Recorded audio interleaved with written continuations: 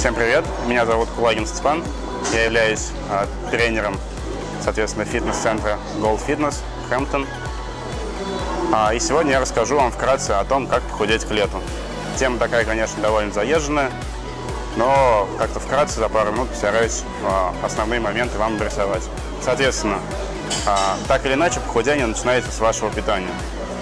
А, соответственно, для того, чтобы вам снижать вес, необходимо, чтобы ваши затраты калорий, затраты энергии превосходили то количество энергии, сколько вы съедаете, соответственно. То есть, другими словами, вам необходимо так или иначе создать дефицит по калорийности питания. В конечном итоге все будет опираться на цифры. А для начала вам необходимо а, подсчитать то количество калорий, которое, соответственно, вы будете съедать в течение суток, и, соответственно, а, снижать свой собственный вес, вес собственного тела. Для этого воспользуемся простейшей формулой и свой собственный вес умножим на 25.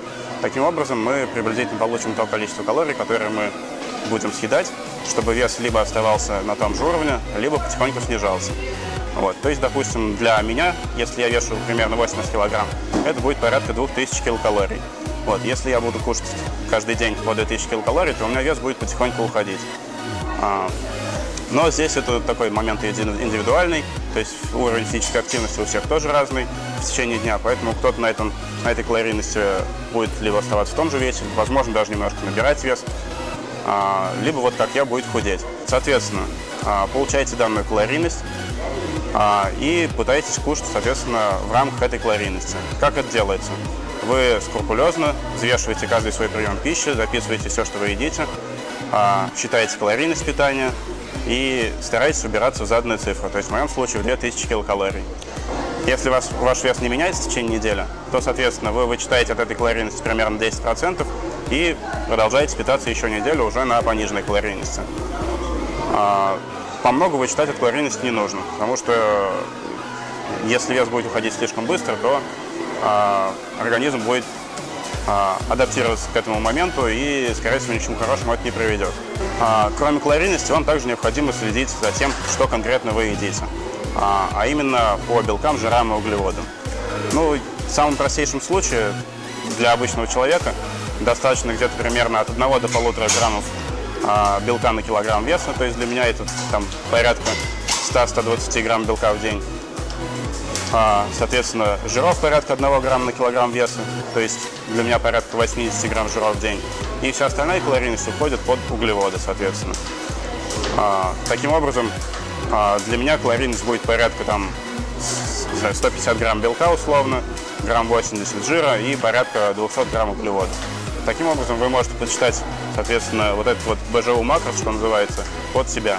Вот и стараться кушать в соответствии с этими цифрами. Все очень просто. Если вес в течение недели не уходит, вы вычитаете 10% и продолжаете в том же духе. Для того, чтобы все это работало, вам довольно продолжительное время необходимо следить за питанием а, и, соответственно, так или иначе добавлять физическую нагрузку, которая будет вам приносить удовольствие. То есть это не обязательно должны быть какие-то утомительные тренировки в тренажерном зале там до седьмого пота. Это может быть все что угодно. Это могут быть и групповые тренировки, это могут быть какие-то танцы, которые там а, делает вас счастливым. Это может быть бассейн. То есть самое главное, чтобы вам это доставляло удовольствие, и только тогда вы сможете какое-то продолжительное время этим заниматься. Соответственно, добавляя физические нагрузки, вы также будете увеличивать этот самый дефицит по энергии, то есть затрачивать еще больше энергии, и, соответственно, будете быстрее терять собственный вес. Вот. А, следует отметить преимущество в этом плане именно силовых тренировок, так как за счет именно силовых тренировок вы будете стимулировать свое собственное тело для сохранения мышечной массы на этом самом дефиците калорий. Вот. Но, тем не менее, на этом я бы не стал заморачиваться. Делайте то, что вам нравится. Напоследок хотел бы отметить, что необходимо ставить перед собой именно адекватные цели. То есть, а, если тема нашего ролика похудение к лету, то лето осталось условно полтора месяца. За месяц, а, ну, более-менее спокойном режиме можно худеть на, там, не знаю, 5, 6, 7 килограмм в зависимости от, соответственно, излишков ваших. Вот. И, соответственно, то есть в неделю где-то на килограмм-полтора, ну максимум два. Это более-менее адекватная, хорошая цифра, спешить вам некуда. Вот. И, соответственно, не стоит себя загонять а, в какую-то такую глубокую яму по той же самой калорийности. То есть не спешите, выбирайте адекватные цели, тогда вы сможете долго, соответственно, и успешно приводить себя в отличную форму. И, соответственно, оставляйте комментарии, ставьте лайки, подписывайтесь на наш канал.